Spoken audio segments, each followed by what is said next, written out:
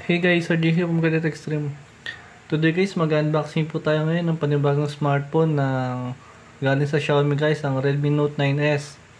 At ito pong bubuksan natin is yung color Interstellar Gray na 4GB, 64GB guys.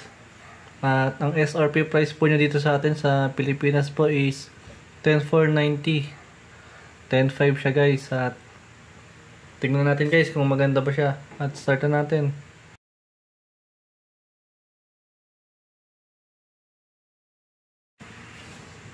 Buksan ko na siya guys.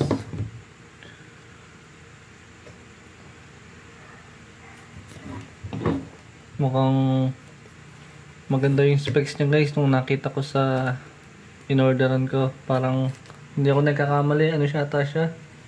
Snapdragon 720. Yun po yata yung processor niya.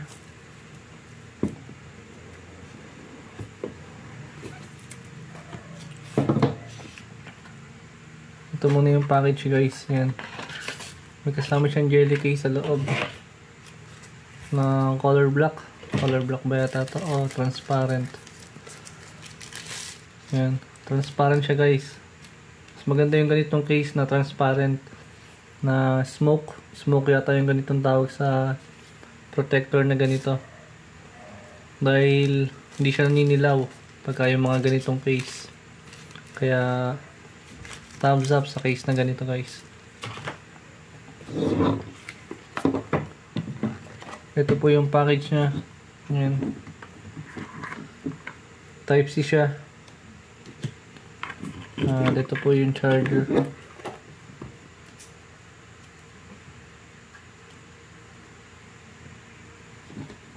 Hmm, ilang watts kaya to? 20 watts to guys yata nakalagay dito. 20 or 22. Taas niya guys. Fast charging din siya. Sulit siya. Tingnan natin yung phone. Ayan. Ito po muna yung quick specs niya. Bago natin siya. Buksan ko lang siya.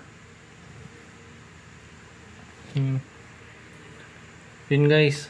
Yung processor po niya is Snapdragon 720G na 8 nanometer high efficiency processor at 48 megapixel.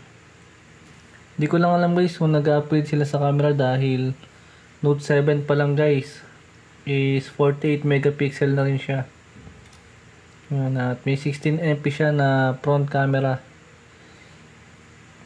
Yung ano pala niya guys, yung camera niya sa taas is para siyang nasa ano na, yung parang Note, Note 10 Plus na Samsung.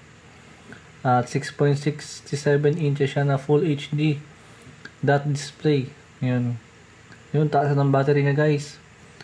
5020 battery. At yung charger pala niya 18 watts. Yun. Setup na natin siya guys. Tingnan natin yung phone.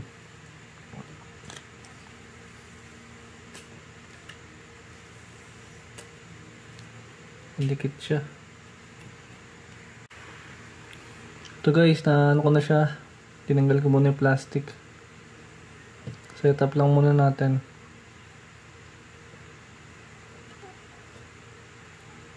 Ang ganda niya guys. Lalong lalo sa presyo niya.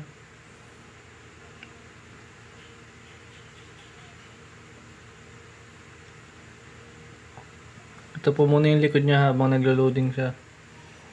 Ito po yung Interstellar Gray guys. Para siyang blue na maputla. Yun po yung kulay niya. Ang ganda niya. Napaka premium niya guys. Glass po yung likod niya. At meron siyang aluminum sa ano, yung chrome niya po aluminum. Ayan. Type C na meron pa siyang headphone jack. Ayan. Kadalasan ngayon guys ng mga flagship phone wala na siyang wala na mga headphone jack. Nasa mga mid-range na lang ang mga headphone jack ngayon guys.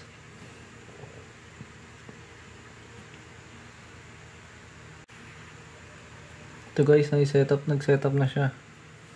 Ang ganda ng display niya guys, ang laki niya, ang laki niyang hawakan. Tignan muna natin yung version.